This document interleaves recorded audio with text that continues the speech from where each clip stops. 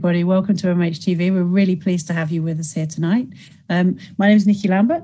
Um, we have a fantastic guest here from Rethink, uh, Lucy. So before we hand over and get stuck into talking about all things Rethink, let me hand you over to Vanessa and she'll tell you how you can join in with us tonight. Vanessa? Hello, everybody. Um, welcome tonight. We're really excited tonight to have Lucy here from Rethink. As Nicky says, Lucy will introduce herself in a minute. Um, I sit on the clinical advisory group for Rethink, so I know what brilliant work they do, particularly around um, you know supporting people with more severe end of mental illness that you know gets less talked about in mainstream media. So I think it's a really important conversation that we're having tonight. If you want to join in, you can join in on Twitter.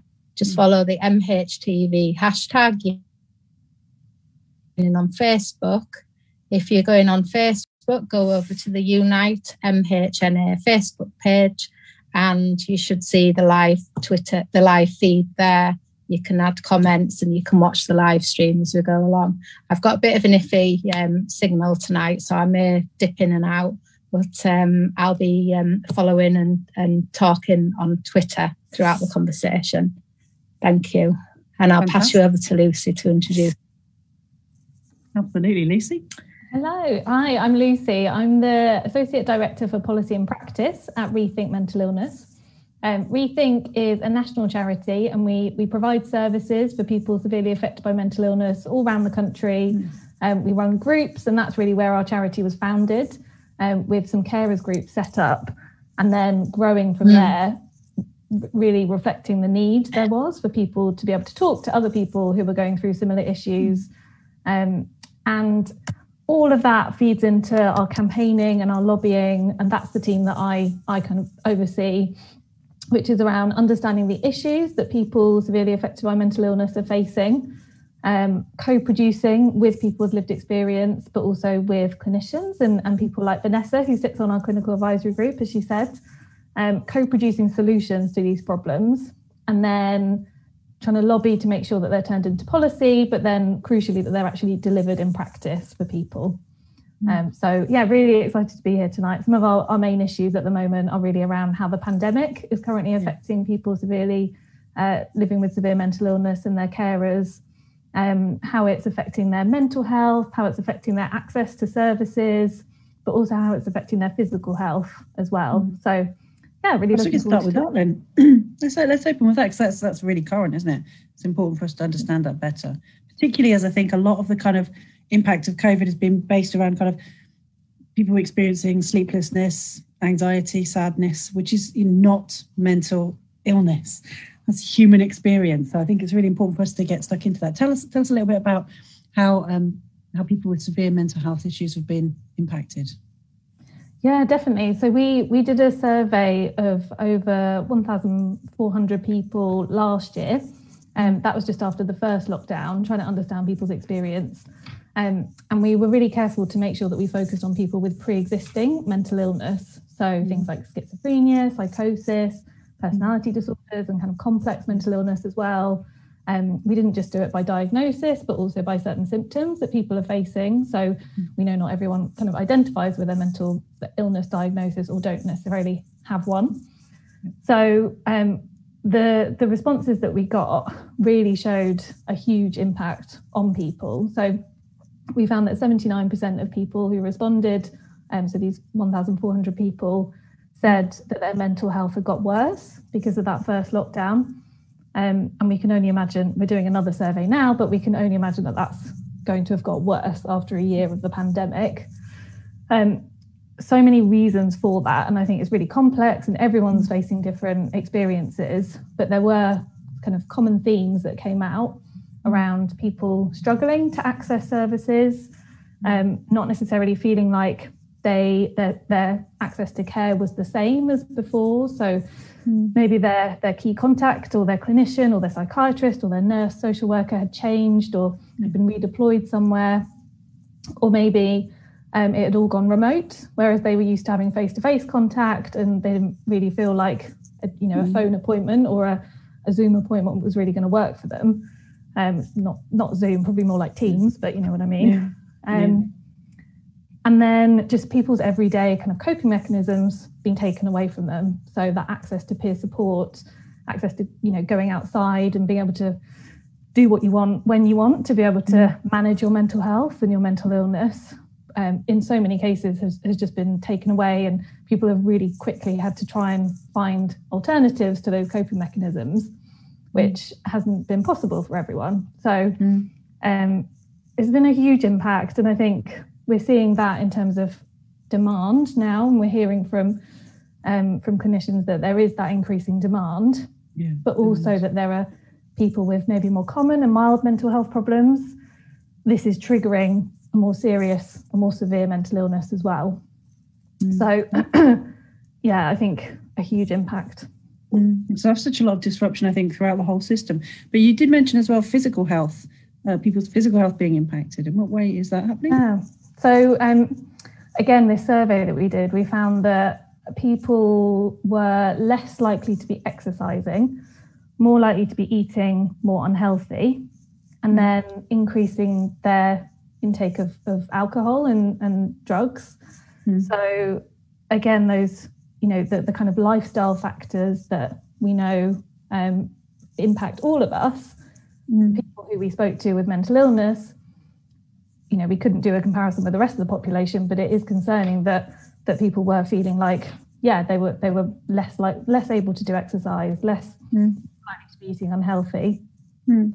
This is against that backdrop of people with severe mental illness uh, more likely to die 15 to 20 yeah. earlier than the rest of the population yeah. anyway because of medication and, and these lifestyle factors and and and there being real inequalities in how people mm. with severe mental illness are treated for their physical yeah. health and not just their mental health and that kind of gap in support in so many cases mm.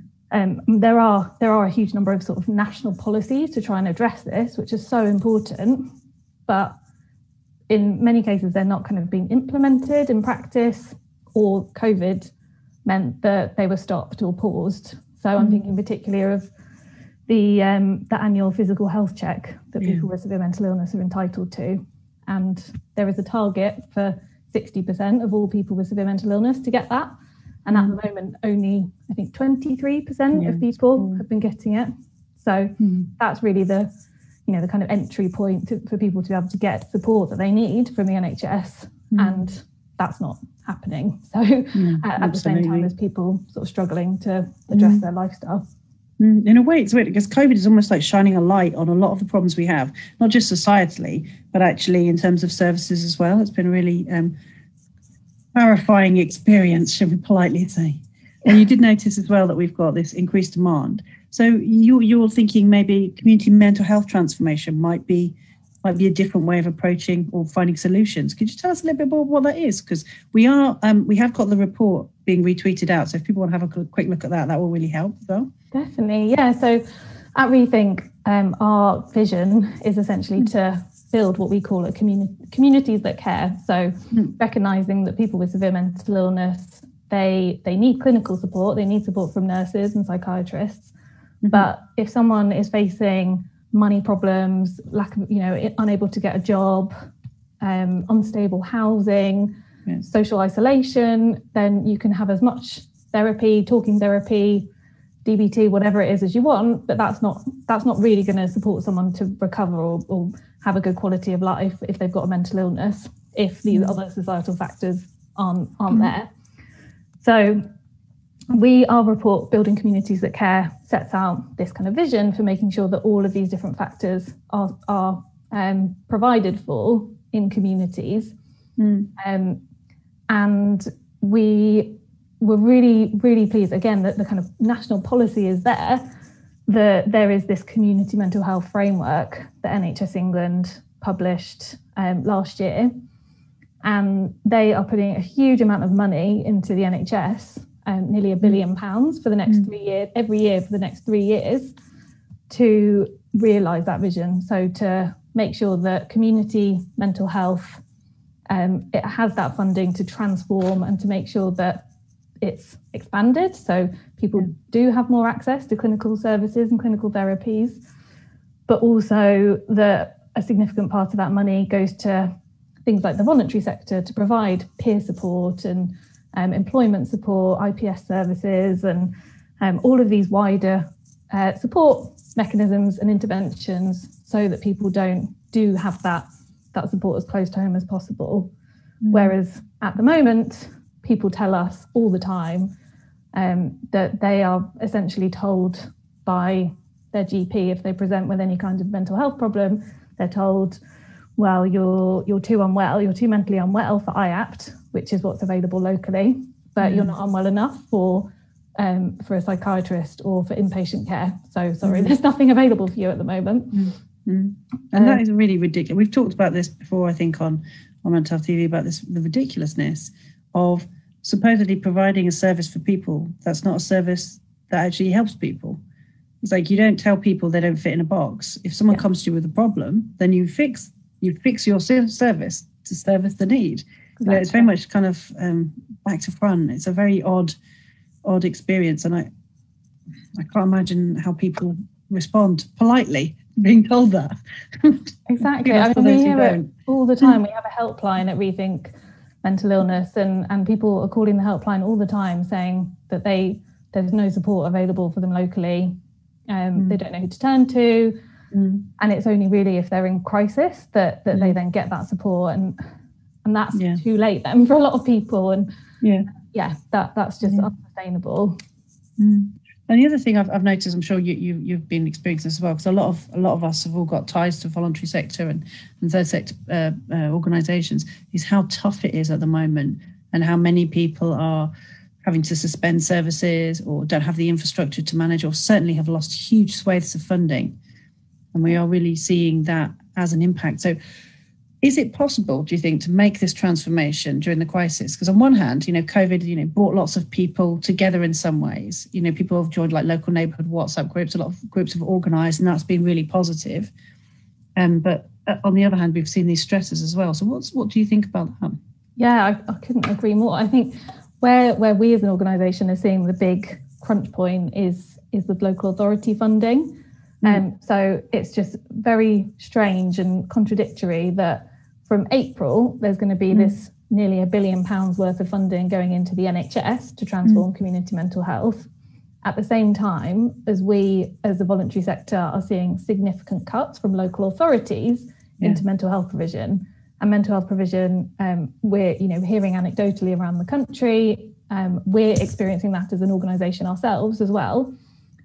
Mm. local authority provision is being kind of rolled back to the bare bones that it possibly can because of mm. social care budgets mm. and and you cannot as i said before you know you cannot provide a, a sustainable community mental health model mm. just investing in the commun- in the clinical side of things it has to be the wider social care element as well mm.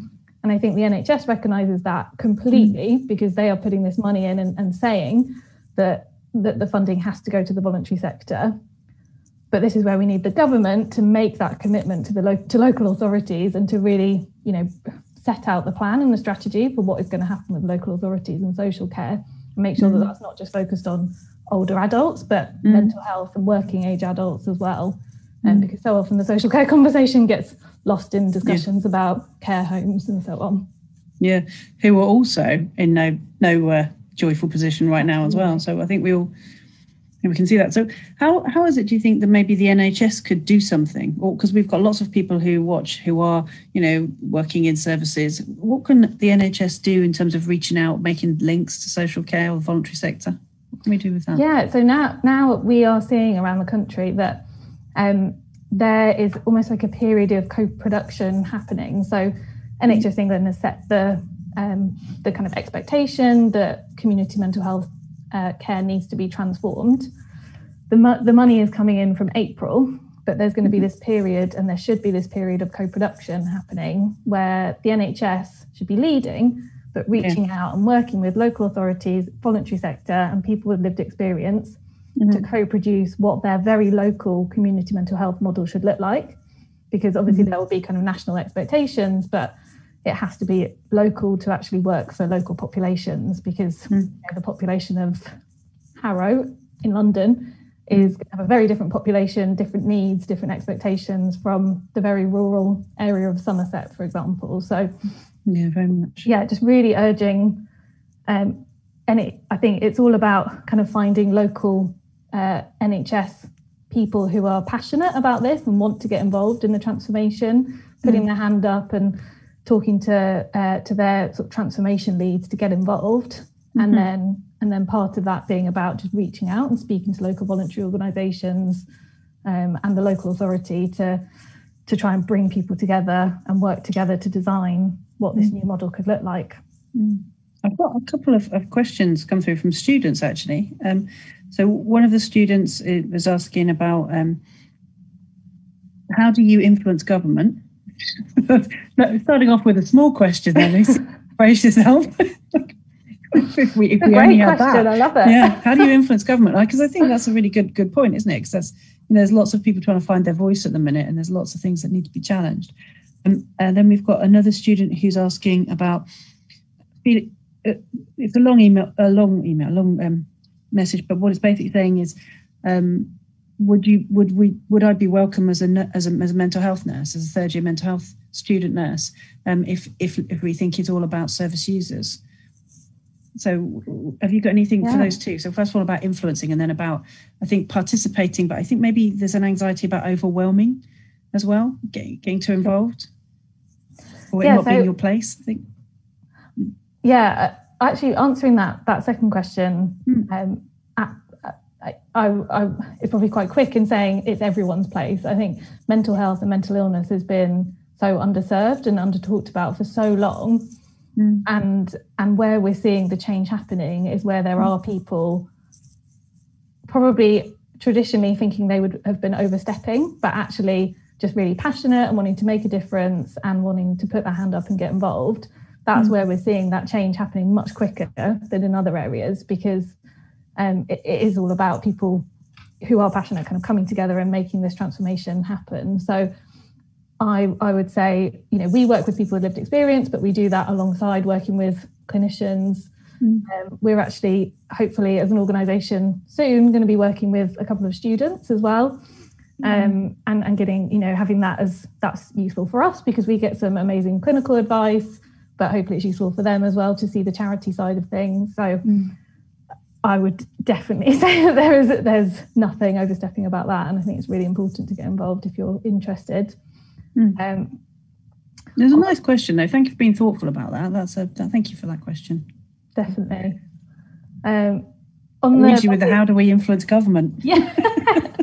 this is, I mean, I, yeah, so I've worked in policy and campaigning for mm. about 12 years now, and I, I, I just find it so fascinating. It's, it's endlessly kind of thinking tactically and strategically and mm. trying to work out what what the best way of getting the change is and working mm. back from there so what is the change you're trying to achieve working backwards from there and and having like a range of tactics at your disposal some of those might be behind the scenes a lot of what we do um, mm. is behind the scenes and it's trying to find who the key people are who have that decision making power whether it's the Secretary of State or whether it's a minister, or more mm. often than not, whether it's an official or a civil servant um, mm. at the mm-hmm. Department of Health, for example, and yeah. trying to you know give them the evidence, really demonstrate the need, show what would happen if if what you're trying to change doesn't happen, and making the case so that they can't say no.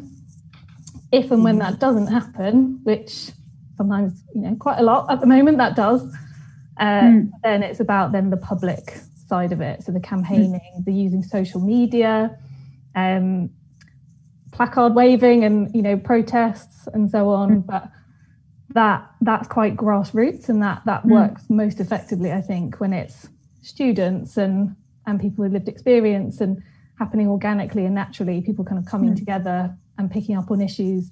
You know, the Marcus Rad- Rashford effect hmm. and, and and campaigning um, mm. rather than it being organised from an organisation. You know what I mean? Yeah, I think it's interesting, isn't it? Because when you, you mentioned the Marcus Rashford, when everything aligns, when politics gone in a wrong direction, everybody says so. You can actually recalibrate quite quickly. I think the Definitely. difficulty comes is when you've got long long term issues that have complicated solutions, Absolutely. and that's when I think it's a little bit of a harder message, isn't it? Because it's too, it's like people duck complexity sometimes. Because absolutely, bit... like social care, it's a complex issue without an easy answer. It's mm. not like no one agree, doesn't agree that this is a huge problem, but mm. and there's there is a lot of campaigning going on about it, but mm. it's still rumbling on with no mm-hmm. no solution. Mm.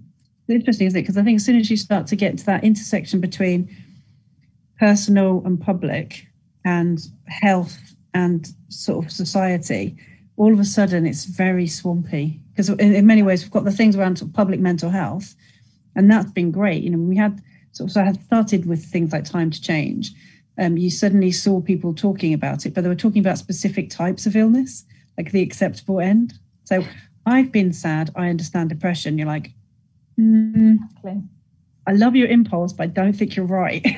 but then when it comes to somebody who's very psychotic, they're still getting very poorly served. Definitely. Regardless of the course that. Yeah, there's, there's, there's the disparity of esteem between physical health and mental health. Yeah. But then even within mental health, there's a lack of sort of parity between between mm. the mental health issues. And mm. you say that the the stigma is is is so prevalent still for people with severe mental illness and they talk to us all the time about how they don't just face that in everyday life and kind of the media but also amongst friends and family you know particularly in certain cultures not wanting to talk about it mm. but also within the health service as well and people feeling like their personality disorder that they've been diagnosed with just isn't understood by the health professionals that they're talking to mm. um, and that that shared decision making over their care just isn't there um, mm. and i just think that's probably one of the most powerful things that's happened just that mm. listening mm. i have type 1 diabetes and mm. that is a complex condition yeah. that i you know talk live with every day the most frustrating thing that i ever come across is when a health professional tells me what to do rather than listens to how I manage my condition every day. And I just mm. think about that all the time that that's even more frustrating for people with complex mental mm. illness and different diagnoses and without that, you know, the research behind it as well. So, yeah. Absolutely. I've got a couple more things coming in. Um, this is not particularly a question, but it's an interesting point. So thank you, Steve, saying um, the idea of returning back to normal, um, as many individuals appear to long for, um, would would result in this spotlight. You know, talk about the spotlight of COVID on things being turned out. Uh, but if we embrace change, we might be able to um, redress inequality. So, have you, uh, in terms of your work with Rethink, actually made any kind of statements or comments about kind of some of the inequalities that people are facing? I mean, clearly you've done that in terms of health access. I think, yeah, that that's there's something in terms of health access. Um, there's also the opportunity that we've got at the moment to influence the Mental Health Act, um, which is a really important thing that I would there's a white paper out at the moment, which is basically the government consulting on what people think about the Mental Health Act, which essentially is just outdated legislation that's not fit for purpose to support people with mental illness. And not even just a little bit outdated. Yeah. It's six decades, decades out of date. Yeah. Um, and there, the so there's a few kind of again talking about influencing there's a few levers that we're trying to pull to make the change so there's again the community mental health transformation the mental health act but so often, what has happened in the past is that, and coming out of COVID, as as the listeners talked about, so often when when we do these consultations and we try and design what or we develop policy or try and influence change we just work from the position of the people who are coming to us and telling us what they think so the people who are kind of shouting the loudest rather than going out and actually speaking to people who who are underserved who are you know mm. have experience of poverty, um, racism, discrimination, you know, people from different communities, people who don't speak English as their first language. Mm. And so then the whole system gets designed around the people who are coming to us. So from, yeah. you know, a, a, lot of charities' perspectives, that's a lot of the time sort of 80% white women. Mm. Um, and that's that's then creating systems for those groups of people and not for people who are yeah. underserved. So that's where we, I think, as a voluntary sector, as the government, everything that we're doing is to try and ensure that now you're addressing inequalities at the very beginning from the start. Mm. Yeah. Um, and representing what people need from the very beginning rather than mm. just going, oh, we'll do something first, take a few steps, and then we'll work out how we try and um, get, you know, people from that that community in you know that Bangladeshi funds involved, and and then we'll work it out. It's no, mm. not from the position of addressing inequalities 1st mm-hmm. Absolutely. I wondered if uh, Vanessa wanted to come in now. If she doesn't, I, I've got some questions. So horrified, so I'll carry on. Oh, we are, we are looking at you. so there's a, a, comment from Alfonso. So hello, Alfonso, saying, what would you recommend we can do to change the public's perception of mental health and illness? That's a really about, good question, and that's yeah. what we, as we as Rethink and Mind, mm. work together on Time to Change. So the mm. anti-stigma campaign for so many years mm. on, and I think the huge progress that that made, um, Nicky, as you said, yeah predominantly for certain groups of people, but that mm. was all around talking, um, mm.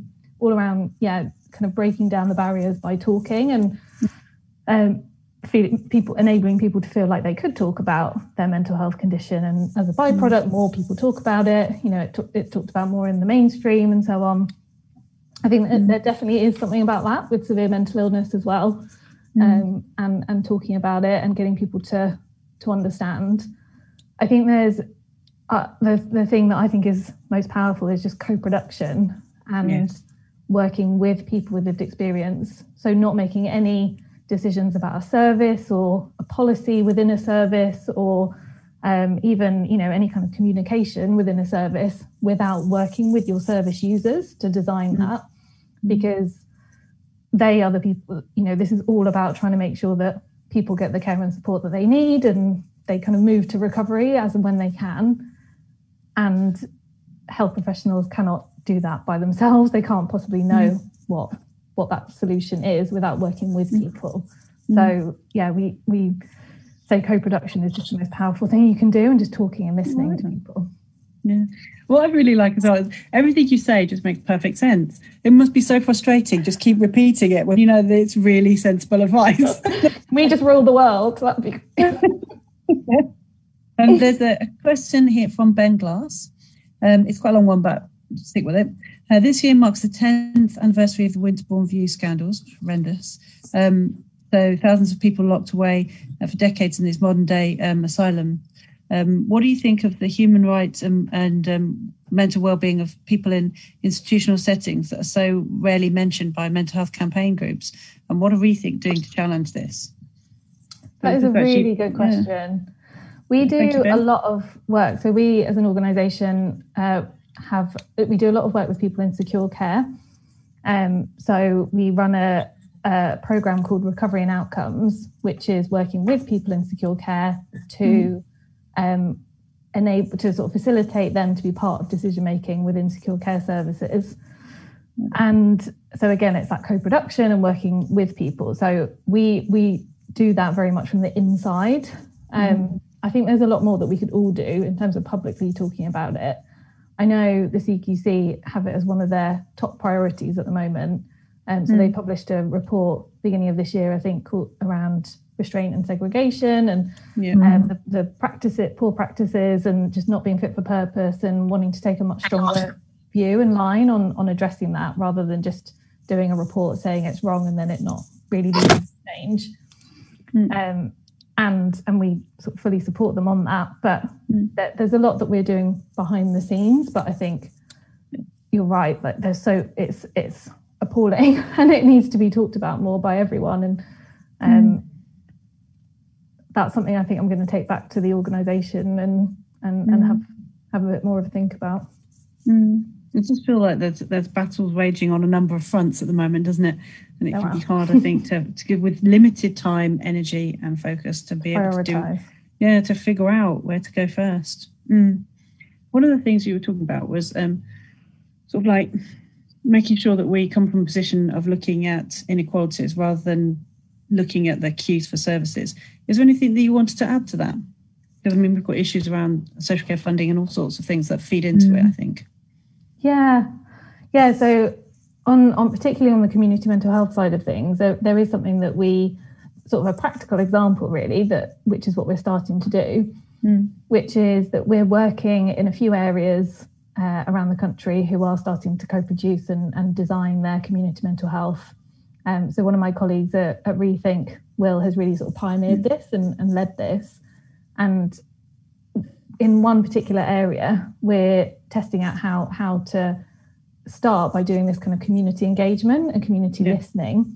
Yeah. Um, and and recruiting people and working with people who have those local connections to then do that listen to, to what people who aren't currently in the queues for services not because they don't need it but because they don't they're just not not in not involved you know not aware yeah. of what's what's available mm-hmm. to them um, and excluded and then co-producing with these people how mm-hmm. services should look to them um, mm-hmm. that would enable them to to get involved and the thing with co-production is that the the the sort of end model that comes out of it you would mm. never have thought of at the beginning so i can't yeah, sit here definitely. and say the result of it is going to be that we're going to have you know 10 languages and and we're mm. going to make sure that we've got you know we're recruiting certain staff or whatever because that that's just jumping the gun and, and just mm. second guessing yeah. what that process will look like but isn't it amazing when you actually give power to people? If we were starting over again and designing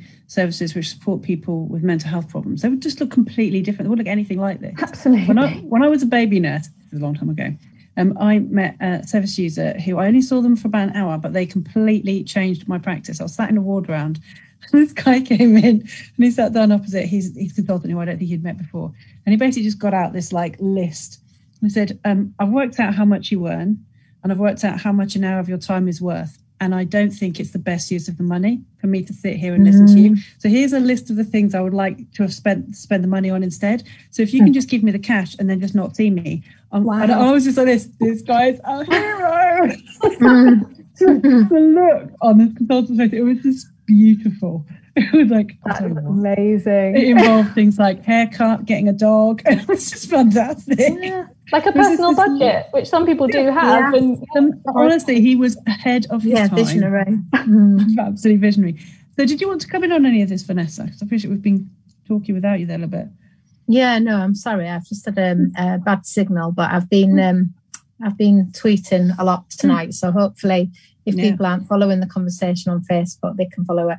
I think um, what Lucy's saying, which has come across really strongly for me, is all the work that Rethink do around um, the whole inequality issue, which, as people know, I'm particularly passionate about because I think that it's often left out of mainstream conversation, isn't it? And we focus much more on people who've maybe got milder and mental health difficulties who can get better and go back to their um, middle class jobs, um, you know, in the middle class houses. And that's not to put down people who experience um, sort of milder end of mental health, because obviously it does affect us all, as we know. But we do need to be talking more about people with um, more severe mental health difficulties and the impact on their lives. And and I think it was mentioned, wasn't it, earlier about digital? Um, you know, the, the impact of people not being able to have face to face contact.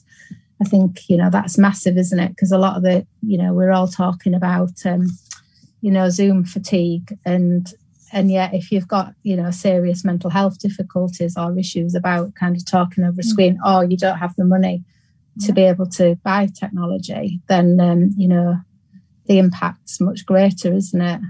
Or your home isn't a safe place to be able to have that phone call because yeah. people who are affecting your mental illness are just in the other room and, and yeah. yeah. practitioner about that. Yeah i'm wondering as, as well about young people. Um mm. i'm certainly say this as a parent myself and knowing how much you know my children have, have struggled at times and the difficulties of going back to school and, and so on. Is um is rethink doing any work around um, young people I think I think I hopefully oh, caught the end of that.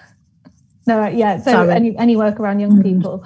Yeah. yeah, we we so we we we do a number of projects and programs with young people. So one of our uh, pieces of work at the moment is called Step Up, and it's a funded pieces of work.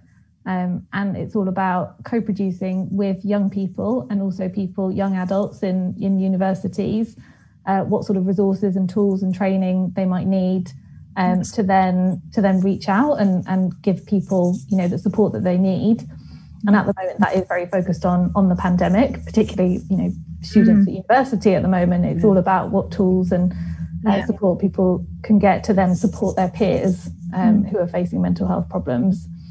Um, and and again, that that has a real kind of as an organisation, I have to say, you know, traditionally we've not no. we are not absolutely in any way the best at, at supporting people from different backgrounds. You know, particularly people from Black and Asian minority uh, and ethnic minority communities but this is something that is a, a, number one priority for us going for you know from mm-hmm. and yeah. it has been for the last year and it's, it's a core part of our corporate strategy that's going to be uh, published soon as well mm. um, but there are there are pockets that i think we we can speak from really good experience on and really really proud of our step up team who who do a lot co-producing with people from different backgrounds young people and young adults and understanding what particular issues for example, young black men are facing, and then co-producing what tools yeah. they particularly need.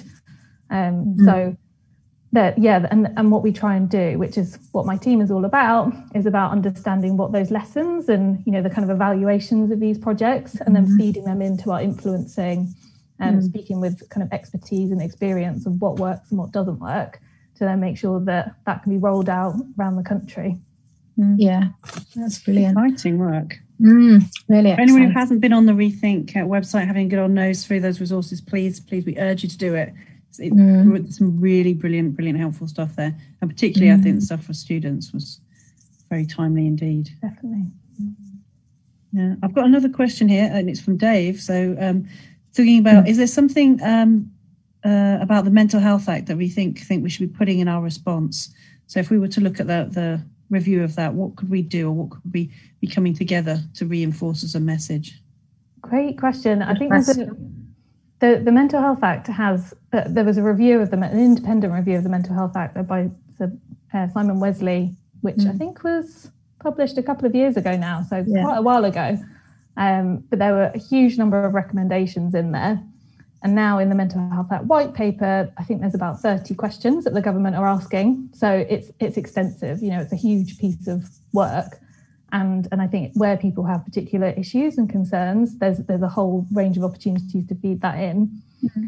But I think the the kind of core aspect that we are trying to change is around that mm-hmm. um, that ability to make decisions and have more control, you know, more control and, and the rights to be able to make decisions over your care. Mm. And mm. to particularly address the racial inequalities that we see. Um, mm. So, again, you know, there being a much higher proportion of black men being detained under the Mental Health Act yeah. than than white people.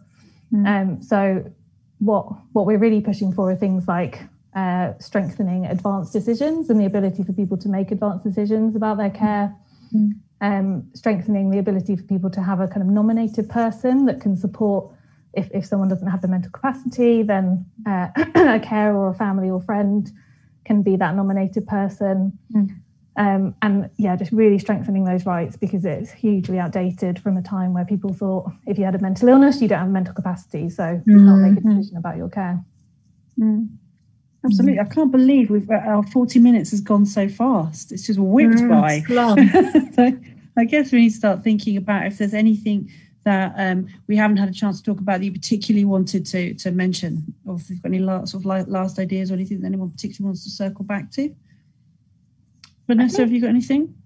Yeah, I think um, I think, as you say, you know, we've covered a lot in a short time, and we'll mm. share um, the report that we've talked about and some of the other resources. And then, if people have any more questions, as well as I mentioned, that I've got um, linked into Rethink through the clinical advisory group, so that'll be a way of, of feeding back anything we've missed. But I think it's been you know, for 40 minutes, we've covered a lot, haven't we? And certainly, yeah, yeah, it's um, it's an important conversation, and, it, and it's brought up other issues that maybe that we need to to look at on the program. So, like mm. I was thinking about then what Lucy was saying about you know students at university, because there's obviously a lot of focus on on young people at school, but less mm. focus mm. on uh, you know that sort of 18 to 25.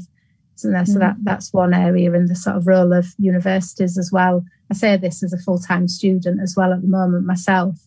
Um, so mm. it's given me an interesting insight going back.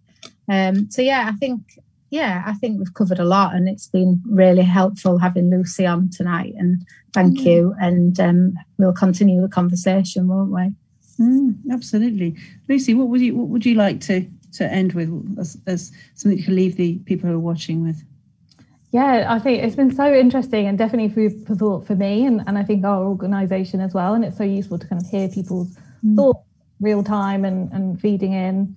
Um, I think the the key issues for us at the moment are really around co-production, making sure people work mm. with people with lived experience, whether that's um, one-to-one care through to mm. system and service design, mm-hmm. um, and that being the only way that we can address inequalities, inequalities in terms of and stigma and discrimination. And I mean that not just in terms of like particularly in terms of health inequalities and people from different backgrounds and cultures getting a different access to care than than than sort of white middle class people, mm. but also in terms of people, the general population of people living with severe mental illness, just not getting the same standard of care as people with mm. more common mental health problems. Mm. Um, and there just being so much more that we need to do to kind of listen and talk to people. Hmm. Um, so uh, at Rethink, we're really keen to help however we can in doing that. Um, mm. and, and please, yeah, get in touch if you've got any questions. And, and we also have our services as well. So if anyone mm. who is listening is struggling with mental illness, then we have our mm. helpline. Um, and, mm. and, please do call that on our website as well. Mm. Absolutely.